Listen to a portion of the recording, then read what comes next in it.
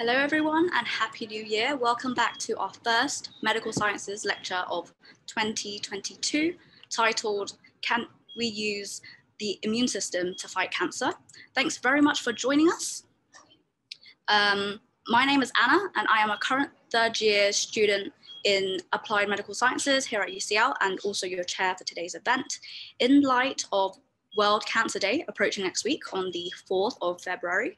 Today's fascinating lecture will discuss the science of biohacking, where biologists go into a patient's genetic code and reprogram their immune system to recognize and fight cancer cells. We want to keep these lectures as interactive as possible, so please make good use of Twitter and the Q&A function on Zoom throughout to submit your questions for our speaker. The hashtag to use on Twitter is hashtag FMS lectures. I'm delighted to now introduce our speaker today. We have Dr. Claire Roddy. So Dr. Roddy is a consultant hematologist at the UCLH and um, an associate professor in hematology at UCL with a particular interest in adoptive cell therapies. She's completed an immunotherapy immunotherapy PhD at UCL with Carl Peggs and subsequently undertook a clinician scientist role with Martin Puhle to de develop the UCL CAR T program. You may have also seen Dr. Roddy around the news on this current revelation. Um, Dr. Roddy's current role involves preclinical development of novel cell therapy projects, GMP manufacture, and clinical trial design. She is also responsible for the Advanced Therapies Clinical Service at UCLH. Thank you for joining us today, Dr. Roddy. Over to you. Great. Uh, thanks very much, Anna, for the introduction. And thank you, everybody, for joining us today. And we're going to look at the subject of using the immune system to fight leukemia and other cancers. And as Anna says, I've been working with um, Martin Puhle and Carl Peggs on the UCL CAR program. And so I guess it's a good place to start is to look at leukemia um, and leukemia is something that's been described over many um, centuries, in fact, um, by myriad different uh, researchers. And in fact, Rudolf Virchow, a German researcher in 1847, he described a case of a 50 year old lady where the white cells were explosively overgrown in the blood. And this patient also had tumors in the armpits, groin, and neck which I guess correspond with the lymph node areas that are depicted in the, in the cartoon here on the right-hand side of the slide. And she was um, extensively investigated for signs of infection that could be driving this suppuration of pus or this explosive overgrowth of white blood cells, but there, were, there was no evidence of any driver. So he concluded that there must be something intrinsically abnormal about the white blood cells, and he defined this syndrome as a leukemia, so leukos is the Greek word for white and white blood cells. So acute lymphoblastic leukemia is where we sort of start our talk today. And it's a difficult condition for us as hematologists to manage. It's the uncontrolled expansion of a subset of immature immune cells, or blasts as we refer to them. And these blasts are um, dysfunctional. They can't perform any useful function um, um, as far as blood is concerned. And what's even worse is that they destroy the bone marrow and they essentially obliterate all of the architecture of the marrow and remove the space for normal blood cells to grow. So in a sense, the kind of typical patient who comes into the clinic will complain of um, the sequelae of, of having no functioning blood, um, blood counts. They're anemic. They may be bleeding because of low platelets. They may have infection because they've not got functioning white blood cells. And they may have constitutional symptoms like fever and weight loss and bone pain, all of which relate to the, the presence of the leukemia. And they may also have a large spleen um, if you examine their abdomen, and they may have lymph nodes that are large enough to feel in the neck and other areas. And it's been a very difficult challenge for uh, physicians over the years to manage leukemia. And William Castle in 1950 says it's palliation, a daily task, it's cure, a fervent hope. Uh, and this really um, was the kind of modus operandi until Sidney Farber came along and really revolutionized how we think about and, and manage leukemia. Now, he was a um, essentially a pathologist who worked in Boston, um, and he developed a scientific interest in what was described as the hopeless condition of childhood leukemia. And at that time, there wasn't any cancer research really to speak of. And the only cancer treatments available at that time were radiation or surgery. But of course, that's unhelpful in the context of a circulating uh, cancer process like a leukemia. so it can't be targeted in that way. So he reasons to begin this sort of process of understanding leukemia um, and to begin scientific discovery on that subject, you need to really be able to measure it. And leukemia is a fantastic subject for that kind of experiment in the sense that it can be easily measured in the blood. And if you can measure the leukemia, you can measure the impact or the potency of an intervention to, to treat that leukemia in living patients. So he took inspiration from all sorts of areas, and including the work of an English physician called uh, Lucy Wills. Um, and Lucy Wills described folate deficiency, and she did this by um, uh, an examination of a profound anemia that was described in some factory workers in Bombay. And interestingly, and I don't know how they came to discover this association, but they gave these um, these these these factory workers marmite, and the the the anemia resolved. So they were able to determine from that that the constituent folic acid within the marmite was able to cure this anemia. Um, and so, of course, we know that when cells divide, well, they need to make copies of their DNA. And actually, folate or folic acid is really critical for this process. And in healthy people who make more than 300 billion blood cells every day, the lack of folate could really be very um, detrimental uh, to blood production. So with this piece of information, Sidney Farber thought that the application of folic acid might improve leukemia, partly because he felt that it would allow the normal blood cells to be able to grow again. He felt that the leukemia cells were perhaps preferentially um, using the folic acid and depriving the normal cells of that essential nutrient. So he devised a clinical study and he gave synthetic folic acid to a group of pediatric patients with acute lymphoblastic leukemia. But the converse to what he expected happened, that the leukemia actually accelerated and progressed. So using this piece of clinical information, he totally revised his hypothesis and he figured that maybe if leukemia cells are so dependent um, on the presence of folic acid, maybe one should try antagonizing it or blocking it with antivitamins and so he collaborated with a biochemist called Yella Pragada Subbaru, who'd been trying to make folic acid um, agonists, and in doing so had created a range of antagonists in the process, um, such as the drug aminopterin. And so Farber took aminopterin and he trialed it in childhood acute lymphoblastic leukemia. And pretty much for the first time in the history of leukemia, there was a patient who achieved a complete remission, uh, totally unprecedented. And really, we can look to Sidney Farber as the father of chemotherapy for leukemia and for having sort of changed the landscape of acute lymphoblastic leukemia. And as it stands at the moment, BALL therapeutics, there's multiple different um, drugs available to us, and actually the outcomes for, for, for some patients are excellent. Um, so I guess we can look at this as saying, well, you know, is the battle with BALL finally over? You know, have we got good enough therapies? Well, the trouble is that in the context of leukemia, there will be proportions of patients who will relapse. Um, and in the pediatric BALL setting, um, you'll get 20% of patients who will relapse. Um, and the overall survival will be about 40 to 50% following that relapse. And in adult BALL, the, the outcomes are actually worse. 50% of patients will relapse after standard of care treatment, and the overall survival um, is, is, is poor. So novel therapies are still needed. And I suppose the question that we come at this from, these are patients who've had chemotherapy or they've often had radiotherapy. Um, and, and the question is whether or not we can use immunotherapies as a completely different modality um, to target the leukemia. So I guess if we're thinking about creating immunotherapy, we have to think about the building blocks that we're going to use. And as part of the adaptive immune system, we've got two very important subsets of immune cells called B cells and T cells. And what these do, they provide very specific immune responses um, to usually to infections, um, and they can expand very rapidly in the context of an infection, an incoming infection, um, and, and to, to target it and to, to essentially resolve it. So what we do in terms of designing immune therapy we try to exploit the anti-infection properties and functions of B and T cells. Now, B cells work um, by essentially making proteins that they release into the bloodstream that label infections for us. And once those infection or infected tissue or viral particles or bacteria are labeled with these proteins, these antibody proteins made from B cells, um, essentially the dust in the uh, cells of the immune system, that's the macrophages, can come along, they recognize the labeled cells, the labeled bacteria, the labeled viruses, and they destroy them.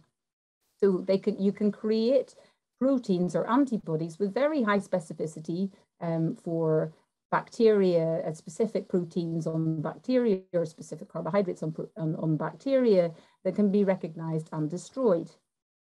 Now, T cells work in a slightly different way. So they can selectively recognize cells that have been invaded by viruses or even cells with mutations that distinguish them from other normal cells within the body. And what they can do when they recognize these cells as being foreign or dangerous is they secrete toxic substances into those target cells to kill them. And there's been a lot of discussion over the years about harnessing what is this cytotoxic potency of T cells and redirecting it so that we can use T cells to destroy cancer cells. And in fact, there is a sort of a, a good history of using T cells to treat cancer. And in the context of certain cancers that we know are driven by viral infections. So for instance, the Epstein-Barr virus, which a lot of us will have experienced as glandular fever, it's a virus that we tend to harbor in our, in our bodies for our entire lifetimes, and it sits latent um, in our cells. And and what can happen is that sometimes when patients are immune suppressed, the Epstein-Barr virus can become active again and can drive um, a, a, cancer type process. And we see it in hematology, um, it's called post-transplant lymphoproliferative disorder. And researchers have looked at, given the fact this is an Epstein-Barr virus driven cancer, well, can you take Epstein-Barr virus specific T cells grow them up in the laboratory and give them to the patient and target effectively this cancer that is driven by this virus. And so in the lab, what you do is you take the patient cells or even a donor cells, um, you expose them to um, a, a, feeder layer of cells that will allow you to preferentially expand your Epstein-Barr virus specific cells. And you give them lots of a cocktail of proteins to help them grow. And once you've got your Epstein-Barr virus specific T cells, then you can give them to the patient. Now you have to take it from me. This is a picture of a patient's throat. You can see the teeth here at the front and you've got a patch of this lymphoma, this PTLD lymphoma at the back of the throat. But once you've given the T cells, you can see that that has completely cleared up. So there is a precedent for this. T cells can recognize and kill lymphomas and cancers. Uh, well, in the context of the fact that this has a viral driver, but nonetheless, this has been shown to work in the clinic. Another way that T cells have been shown to fight cancer um, is in the context of tumor infiltrating lymphocyte therapy, and this has been used mostly for solid tumors. Now, immune cells within cancer tissue, within a block of cancer that you extract from a patient, an excision or whatever, um, you can extract those T cells and they can attack some cancers, some particularly immunogenic cancers, ca cancers that are very different, if you like, in their protein expression compared to normal cells. And if you expand these cells up in the laboratory to very high numbers and reinfuse them into patients, it can lead to remissions in some cases. And so what you've got to take from me, this is a CAT scan here of a patient with a metastatic melanoma, which is a sort of a, a horrible um, skin malignancy and that in this case is seeded to the liver. And there's also a large deposit under the skin on the shoulder here. And this is a patient who received TIL therapy.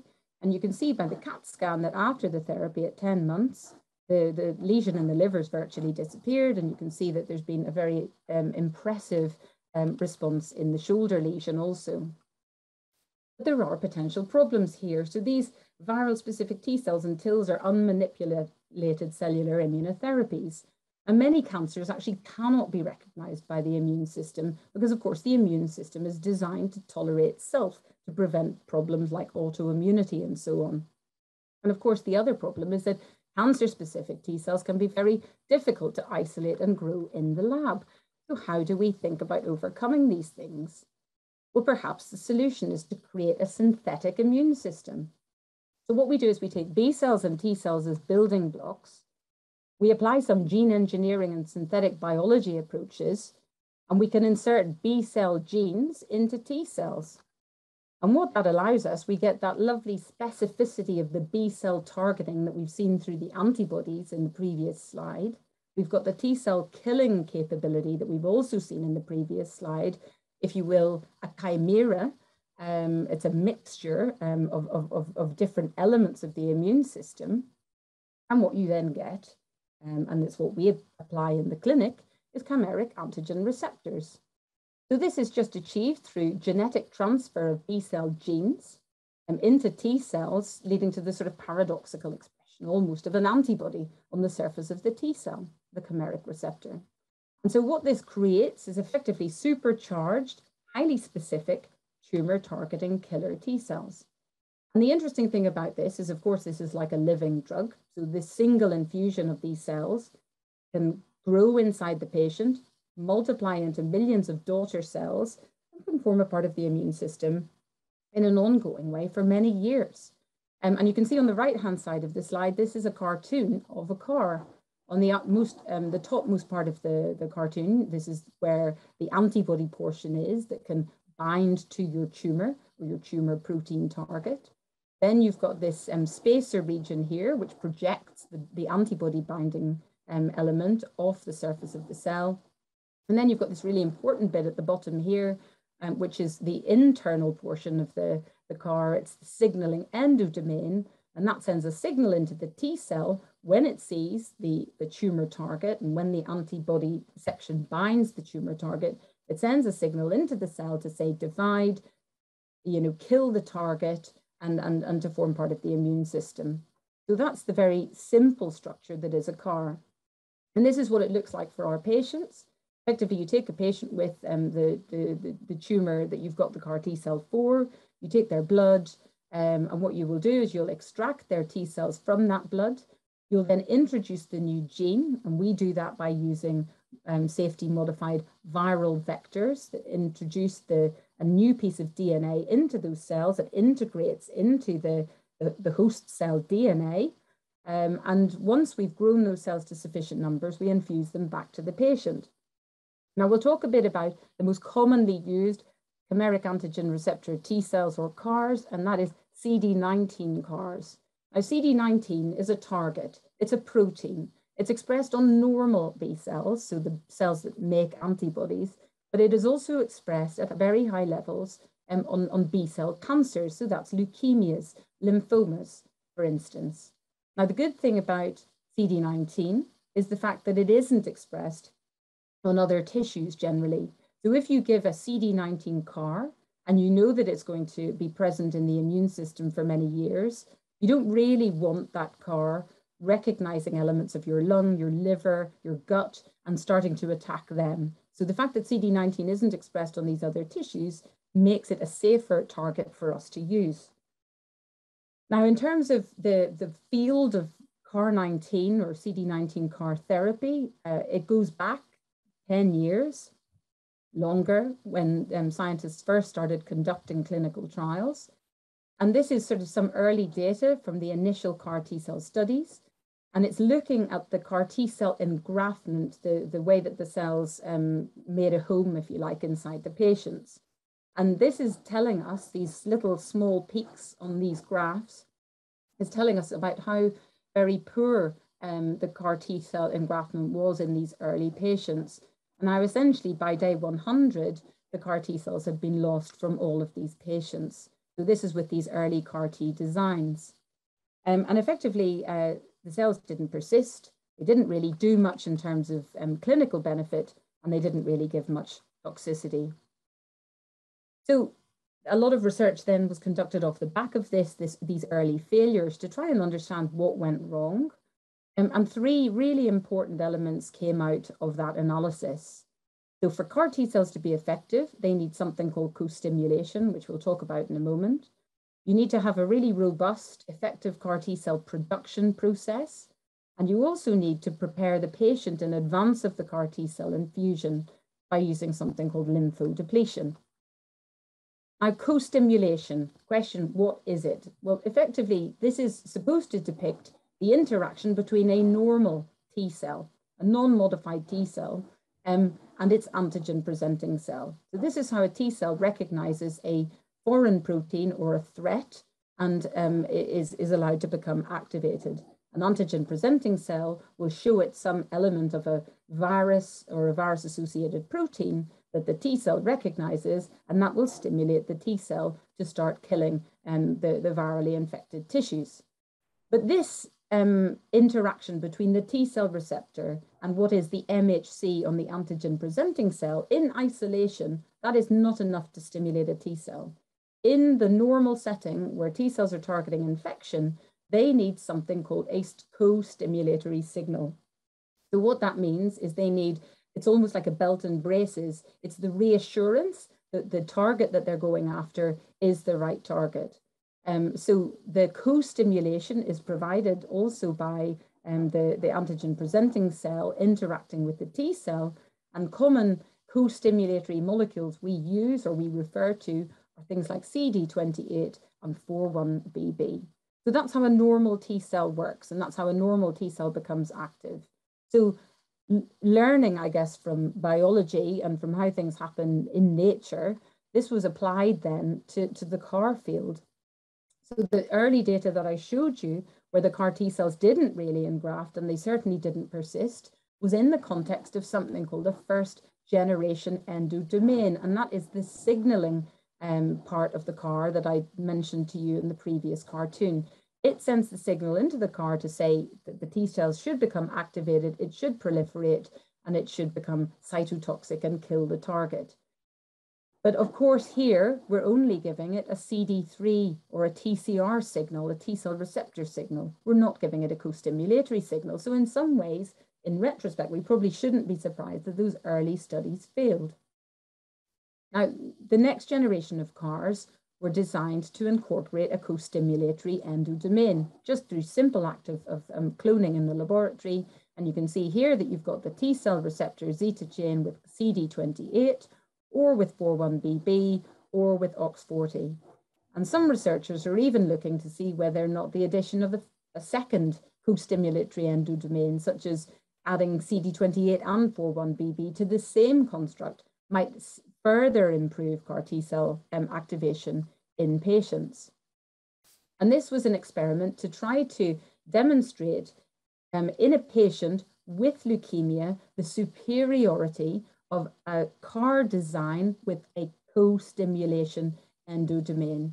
And so what this um, lady, Barbara Savoldo, did was she took a patient's immune cells, she took their T cells, and she made one batch of CAR T cells with a first generation um, CAR, and that is the one with just the T cell receptor signal. She then made another batch of CAR Ts of the same patient, leukapheresis. This time, the CAR had a co-stimulatory endodomain, and then she infused both of these products into the patient at the same time to see what would happen. And as you can see at this, this graph at the bottom of this, this slide is basically showing us how well the CARs expanded inside the patient and how well they persisted. And by that, I mean how long they lasted in the patient's bloodstream. And the, the blue line indicates the second generation CAR, that is the CAR with the co-stimulatory endodomain. And you can see how much better the engraftment and persistence is. And this one experiment was really enough to transform practice in the field and to reassure CAR T cell researchers that there is value in this technology. It just needed a bit of tweaking. Now, lymphodepletion um, is preparing your patient for the incoming CAR T cells. When you infuse CAR T cells into a patient who hasn't had um, some form of chemotherapy or radiotherapy before the CAR T cell infusion, effectively you may lose your CAR T cell expansion and part of the reason for that is everything in your body, your whole immune system is competing for nutrients, for oxygen, for space. And so in order to really maximize the chance of CAR T cell um, in, engraftment and growth, uh, you have to provide the patient with lymphodepletion to clear out all the other immunological noise, all those other immune cells that are effectively taking up space so that your CAR T cells can really grow. And effectively, this whole um, the paradigm was really developed over at um, the NCI. That, that was where it was all first proven um, in the context of tumor infiltrating lymphocytes um, where they looked to see whether or not the addition um, of, of, of lymphodepletion in one way or another would improve survival. And this Kaplan-Meier curve shows you that total body irradiation and chemotherapy are better than node lymphodepletion. So this whole paradigm was adopted by all the cellular, cellular therapy specialists and cellular therapy practitioners and is used currently um, in, in the CAR T cell field.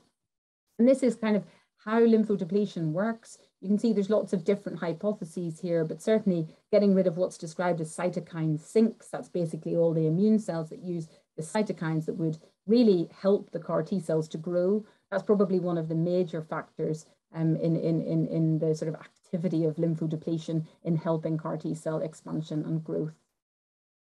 Now, we mentioned a little bit about um, the manufacture process.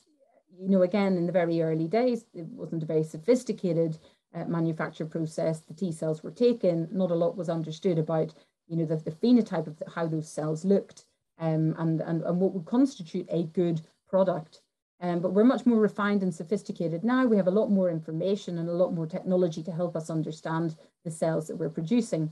And the pictures in this slide are the clean rooms that we've um, been using up at the Royal Free Hospital um, in the Centre for Cell, Gene and Tissue Therapeutics. And you can see our operators here in the labs wearing the sort of protective suits with the gloves, the masks and so on. And this is basically a safety precaution so that we do not contaminate the cells for the patients. It's a very controlled environment um, and there's a lot of uh, there's a lot of sort of rules and regulations around how we do this and it's all about keeping the patient safe um, and making the best product, uh, most reproducible product possible. And this is a bit um, of a sort of a cartoon, I guess, of what we do. So we take patient cells and then we take the T cells out and we stimulate them. We sort of try to fool them into thinking that they've met an antigen presenting cell and that they perhaps there's an infection because that's the trigger for them to grow for us in the laboratory in a plate or a flask or a bag.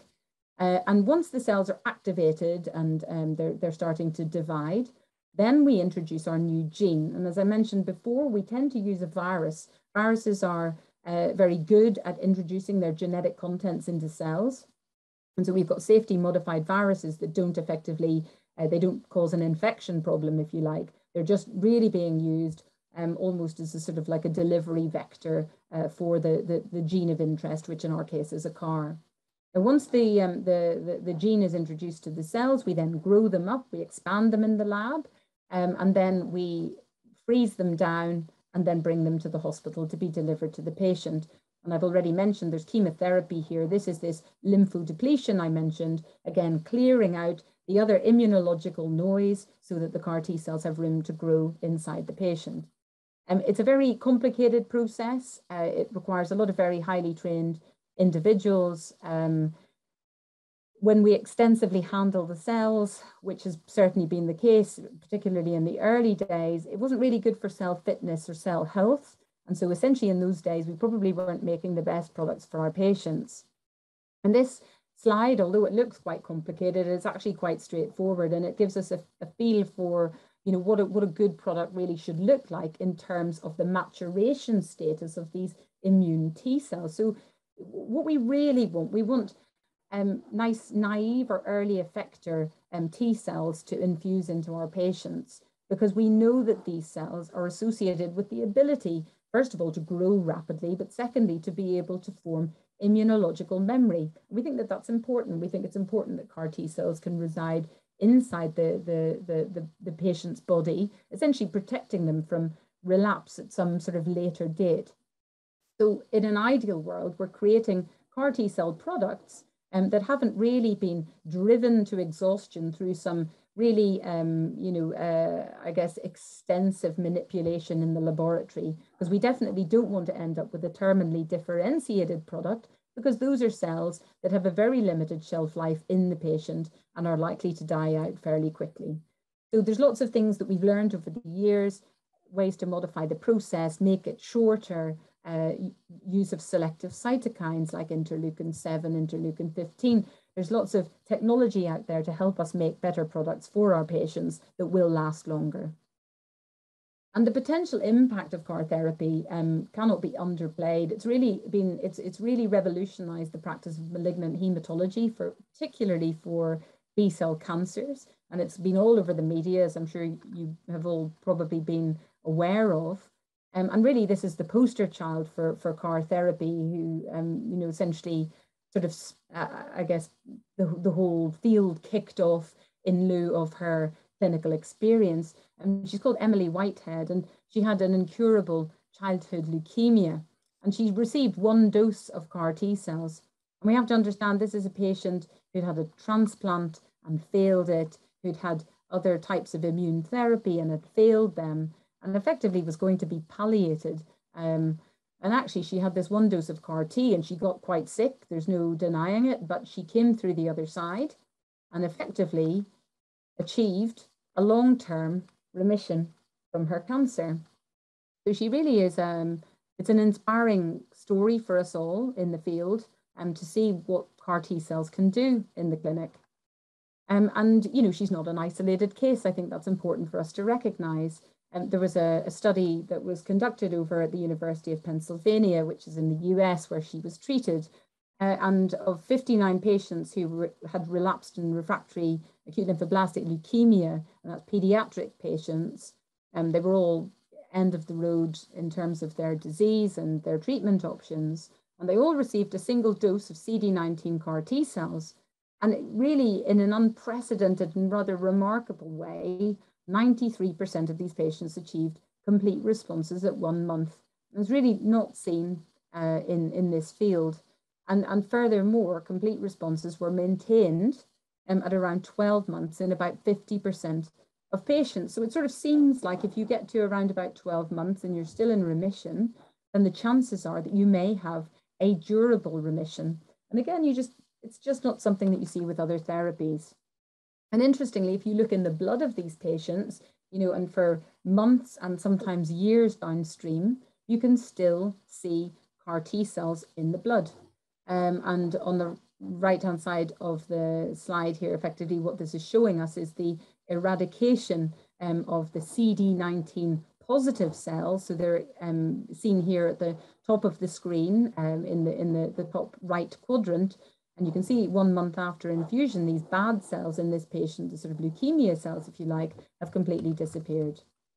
So off of the back of this uh, really sort of revolutionary um, clinical study, uh, the, the FDA in the United States licensed the first CAR T products, and um, the first one for leukemia was licensed in August 2017, um, Lechleqsel. And there have subsequently been other um, CARs licensed for lymphoma, um, including uh, Yescarta, which is axicabtagene, and um, other products like Tecartus and uh, lisocabtagene. So there are, the field is exploding um, at the moment in terms of research and options for patients.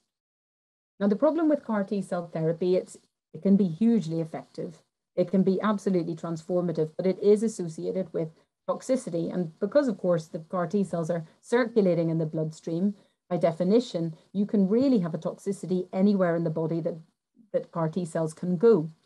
Um, and so the common things that we see, um, well, you can imagine these are T cells, the T cells that fight viruses when we get infection. And when we get a virus, and you know, the recent pandemic, well, I'm sure we're all familiar with what it feels like to have COVID 19. Um, but those high fevers, um, the, you, the feelings of muscle aches, um, generally just feeling very lethargic, that's, the, that's exactly what you can expect to experience uh, with a CAR T cell because it's working in exactly the same way as a T cell that's trying to fight off COVID 19. Um, but the, the only caveat to that is if you have lots and lots of lymphoma or leukemia, of course, you may end up with very high fevers and feeling rotten for days and days and days. And actually, you know, if your patients are older and maybe they have other medical problems, they may not tolerate that too well. And so, of course, we have to be very careful with these patients, and that's why we often admit them to hospital for monitoring, and because they can end up with, with significant um, complications from their CAR T cell therapy. Thankfully, there are things that we can do to help us manage um, this cytokine release syndrome, and there are drugs that we can use to try to take the fire out of the syndrome, if you like. Another inflammatory syndrome that we see in relation to CAR T cell activation and activity is neurotoxicity, and that's irritation of the brain. And it can present in all sorts of ways. Sometimes we get patients who present with, with mild tremors. There are other, other patients who develop the inability to speak as a transient phenomenon. We've had some patients who've had seizure activity. And the, the interesting thing, it, it doesn't seem to be related to the presence of disease in the brain per se. It just seems to be related to the degree of expansion and activation of the CAR T cells in the blood. Um, and it tends to self-resolve within weeks. Now, of course, if we're targeting CD19, well, then CAR T cells aren't clever enough to be able to delineate between a, a, a leukemia cell and a normal B cell. To the CAR T cell, everything is CD19, and it doesn't matter, um, you know, what, what the sort of nature of the cell. So the chances are that if you have a product that lives inside your bloodstream for a protracted period, you will not have functional B cells as a consequence. Now, can we live with that? We probably can. B cells make antibodies. We're likely to become antibody deficient. We might end up with more infections. But if we do end up with more infections, there are ways of dealing with it. We can receive antibody supplementation by having a monthly infusion of immunoglobulin. Another thing that happens with CAR T cells, and again, it's felt to be related to the, the, the degree of inflammation and the, the degree of the cytokine release syndrome, is prolonged cytopenias. So that's low blood counts. So sometimes we'll end up with patients who've not got really um, enough white blood cells to protect them from infection for several weeks and sometimes months after the treatment has been given. And so in those cases, what we do is we give the patient growth hormones for the white blood cells to encourage those white cells to grow. But there can be a period of time where a patient will come in and out of hospital with infections um, by virtue of this complication. Now, in terms of the pathophysiology, and that's why CAR T cells, um, you know, do, they, they're associated with these inflammatory conditions. This is sort of a cartoon, if you like, to kind of demonstrate the timeline of, you know, what, what time frame should we be expecting these things to happen. So if you look in the center of the slide, you basically, you've got your conditioning, that's the lymphodepletion we talked about. That's that chemotherapy we talked about getting, making space for the CAR. And then we infuse the CAR on what is day zero. That's what we refer to that day as. And you can see that what happens first is the cytokine release syndrome that kicks off quite soon after day zero. And it's then followed by this inflammatory brain toxicity, this ICANS. So it's sort of, it's a kind of a classic sequence of events. You tend to get a fever first of all, and you get your cytokine release, followed by your ICANS, your, that's your neurotoxicity. And it's followed sometime later by an increase in the CAR T cell numbers in the peripheral blood. And then if you look at this, this is um, depicts all the cytokines. These are the inflammatory markers that are secreted into the blood by the CAR T cells and by the other um, immune cells in the system. And you can see that there's sort of classic um, uh, characteristic cytokine patterns associated with the different phases of the inflammatory process. Um, so, so that's the sort of the pathophysiology of the of CAR T cell sort of toxicity is is illustrated here, and and certainly um, CAR T cells are aided and abetted um, by the endogenous immune compartment. So cells like monocytes and macrophages are very instrumental in, in, in pushing that inflammatory syndrome. And it's usually in targeting the monocyte and macrophage derived inflammatory molecules that we then can tend to control um, cytokine release syndrome. And this is an example of some of the drugs that we use to try and block and switch off CAR T cells and um, the associated macrophages. We're using um, something here called tocilizumab. This is probably the most common drug that we use. It blocks a cytokine called interleukin 6, which is secreted in large um, concentrations by macrophages, triggered by the CAR T cells. And this is a very effective drug, um, which was used in Emily Whitehead um, and essentially caused her fever to come down and allowed her to leave the intensive care unit to go back to the ward. The tocilizumab is very effective. Other drugs like anakinra can block other immune um, pathways such as interleukin 1 and uh, drugs like dasatinib, which are drugs we sometimes use for leukemias, um, can actually switch off the CAR T cells themselves. So there's as much as there's research going in to develop the next generation of CARs and to make them better and more effective, there's also a lot of research going in on in the area of developing new and better um, toxicity management strategies to help us get patients through this process unscathed. Now, not all patients have durable responses, as we discussed. Um, and, you know, there will be patients who relapse. And it's always, a, you know, a tragic thing for us when patients have no response at all.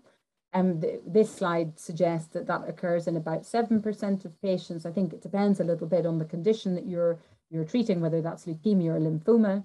Um, but essentially, some patients, there's just no CAR T cell proliferation at all. They come in, they get their CAR, they don't get a fever, the CAR T cell can't be detected in the peripheral blood. And when you look at the end of the, the 28 days, um, the, there's nothing has changed, there's no improvement in the disease.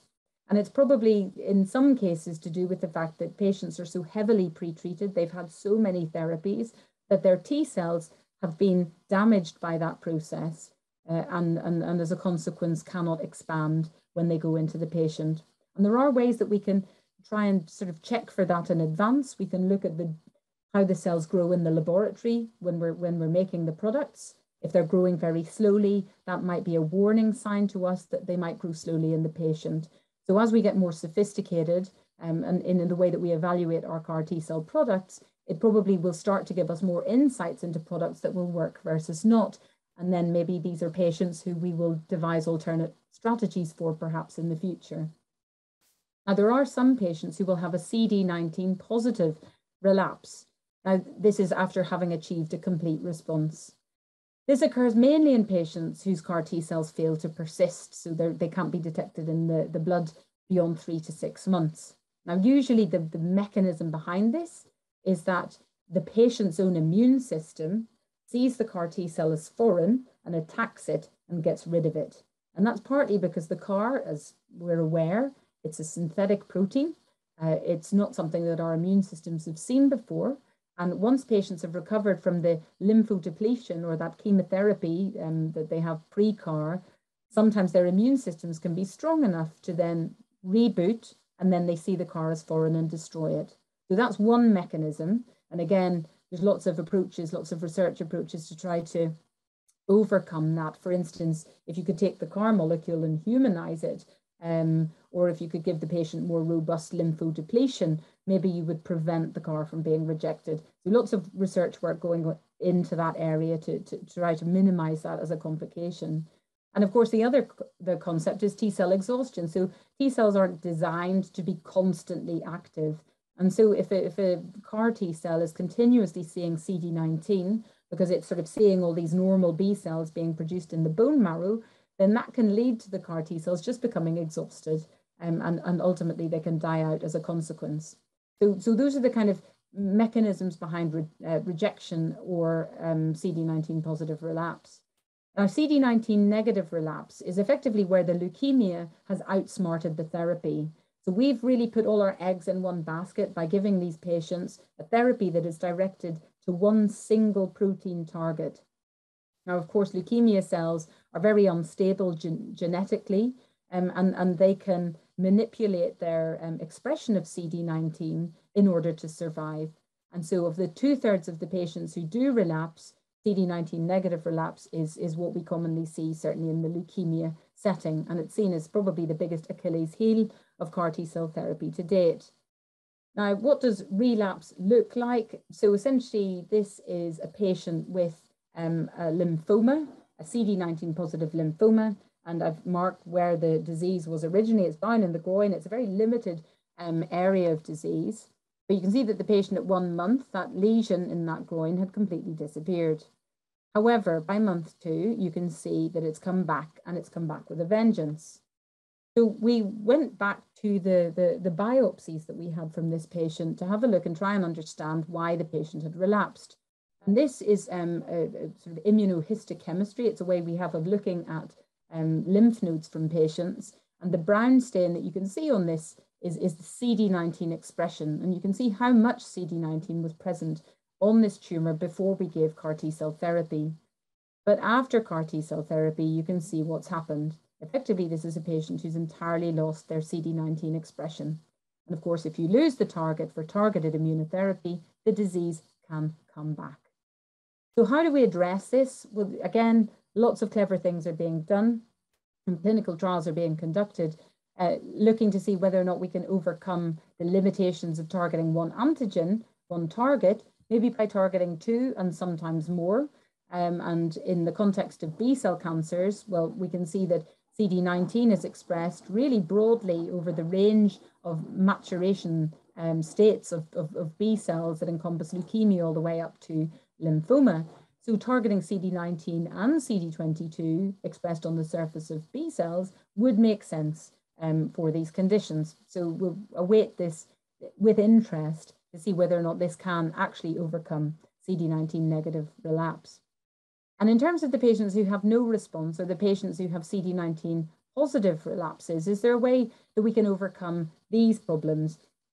Um, is it that you know the patients who have no response, we if we give them uh, cells from a healthy donor, that we might be able to overcome um, these problems? And so the question is whether can allogeneic or universal CAR T overcome per patient products and improve access um, to, to CAR T cell therapy for patients with, with, with uh, very exhausted or um, dysfunctional T cells. Now, the beauty of an allogeneic CAR or a universal CAR over an autologous CAR, which is a patient specific product, is the fact that with an allogeneic product, first of all, you get nice healthy T cells from a healthy donor volunteer. Second of all, you can batch the product that you make. So you can make lots and lots and lots of bags of cells and as a consequence, you can, in theory, treat lots and lots of patients. And where do you get the cells? Well, you can go to normal adult donors, or you can use cord blood cells, or you can even use stem cells as your source or your base material to make these allogeneic CARs. Hi, sorry, um, Dr. Roddie. Uh, mm -hmm. We mm-hmm. also have a Q&A um, segment at the end. So mm. um, if we could um, quickly just wrap it up. Yeah, let's, Thank let's you so move, much. Let's move forward. So basically, um, I mean, so allogeneic CAR T is definitely, it's a very exciting prospect for the future um, for, for CAR T, but it's not the only um, option. Now, CAR T cells are a major part currently of UK treatment pathways, and they're not without toxicity, as we said, um, but a significant population of patients can achieve long-term responses following a single dose. We are excited by the rapid pace of development, and to some extent, this is the beginning of the journey. And most of the CAR T cell research groups are working to really understand how we can get more products to more patients, how we can address antigen loss and those patients who have poor products.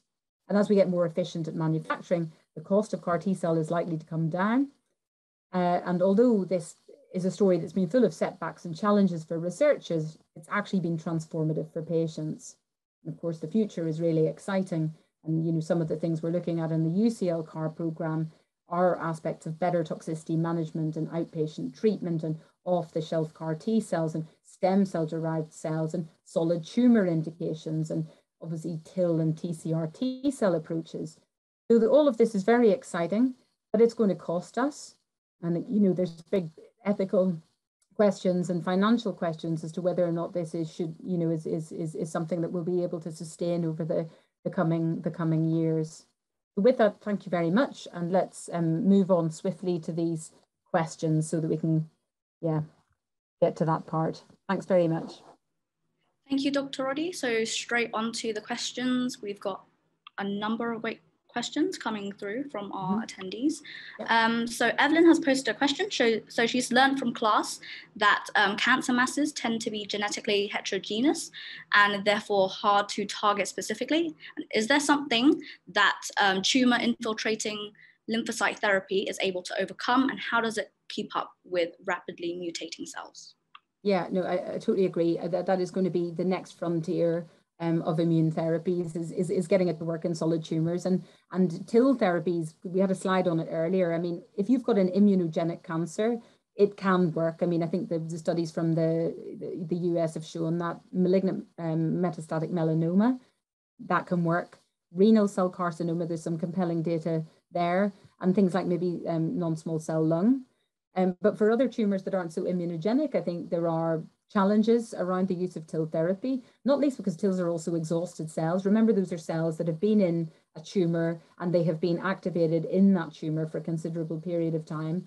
So there may be even be simple things we can do about um, TIL health, you know, restoring maybe a little bit of uh, immune naivety to those T cells, um, rejuvenating them, if you like, just by the way that we grow them in the lab that might help them to function better. So that's for the so TILs. You know, for those indications probably are very exciting for the future.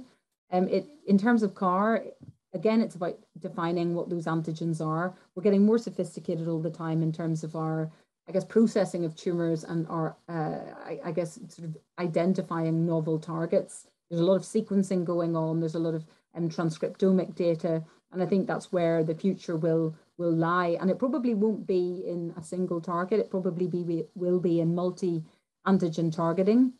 And I think our, our understanding and success in this field is going to rely heavily on us understanding the biology of the tumor and exploiting things like the, the fibrotic stroma, you know, so destroying the soil, if you like, that the malignant cells are growing on. It will probably involve us manipulating or destroying the immune cell subsets within that solid tumor that are protecting the tumor, that have been uh, essentially programmed by the tumor cells to protect it. I'm sure we're going to have to use strategies to destroy and overcome those processes in order to reach the same sort of successes that we're seeing in the hematology space. But it, you know, and I think people, you know, there has been some pessimism, but I think that's misplaced. I think it's just too early, but I think it, it'll be the next frontier. That's great. So um, the next question is kind of relating to the niche of um, cancer and how um, CAR T therapy can the potential for CAR therapy to extend its um, impact across other diseases. So, um, can this treatment um, also alleviate other conditions beyond cancer? For example, skin conditions such as eczema or keloids? So, I, you know, I, in terms of keloid, I don't even I don't want to speak to that um, because I, I guess that, you know it's going to be a very challenging ask uh, to, to to get somebody to apply what is effectively a potentially life-threatening therapy to someone who's got a keloid scar. I mean, I'm not a dermatologist, so I don't know about, you know, how sort of like the, the broader implications of, you know, what keloid scarring can do. So I don't think for that particular indication, I don't think that that, that makes as much sense. Um, but there are other, you know, conditions that are associated with significant morbidity and, and, and mortality. So for instance, in rheumatology, things like lupus, for instance, you know, you can get a lot of um, target organ toxicities, renal failure, um, cardiac complications, etc., brain complications. And we know that it's sort of to some extent driven by, um, you know, an aberrant immune signal and, and by B cells. So if you target, you know, B cells that are creating antibodies that are causing the underlying condition, potentially in those sorts of indi indications where there is a morbidity and mortality associated with the underlying condition, I think that that is something that does make clinical sense. And you know, there certainly are. There's there's groups of people who are looking at even CD19 CAR T cells for lupus for that reason. And there's a lot of preclinical data, and I think again very interesting, uh, looking at so patients who've got cardiac fibrosis, um, and and uh, using fibrosis targeting CAR T cells um, to effectively see whether or not they can disrupt the, the, the fibrotic core that is disrupting heart function and to see whether or not that might engender the production of normal myocytes again. So I think, you know, there will be in the regenerative medicine space, I think there's definitely going to be, there'll be a CAR T cell uh, branch um, looking at those sorts of indications as well. So, you know, so definitely people aren't monocular about this and it's not all just about hematology and it's not all just about cancer. I think the application, people are very creative. There's a lot of imaginative people in this field and I think um, the, the, the reach will be very broad. So with the market size that is as big as um, for CAR therapy at the moment, um, it's very novel research. And so with any novel treatments, there is still the potential for patient relapse. So for those that do relapse from CAR T therapy, um, once they relapse, did the levels of remaining um, CAR T cells rise? Well, it depends on why they've relapsed, you know. So um, if you've got a patient who's relapsed because they've rejected their CAR, well, clearly the answer is no, you know, because that's one of the main mechanisms of relapse we discussed just a few minutes ago. If they've lost um, the target in question, well, you know, the, the CAR T cells can continue to, to, to thrive in the patient, and you're then you've got the worst of all worlds. You know, you've got the ongoing B cell depletion, and you've got the rapidly growing cancer. So it's not a great situation. Um, and you know there are some people who um, have designed and deliver CAR T cells that have suicide switches inside them to, to enable them to delete the CAR at the point at which the CAR is no longer required. Um, again, there's reticence to use that in a sort of like a global um, ubiquitous way, partly because anything that you introduce into a cell by definition makes it ever so slightly different from the host and therefore makes it more of an immunological target. So people are reticent to sort of use it broadly, but you know, again, it would be, I mean, it's another mechanism by which you could switch those CARs off when they are no longer required. That's, that's clarified quite a lot. Um, so you've previously mentioned the cytokine release syndrome as part of one of the um, potential toxicities of CAR T therapy. So um, is this form of toxicity um, similar to the um, effects caused by the immune response that a vaccine can trigger? Uh, yes, in, in that sense, um, whether similar to the response that you can see with an infection and a, a, vaccine is there to mimic an infection, albeit like a safer version of the infection.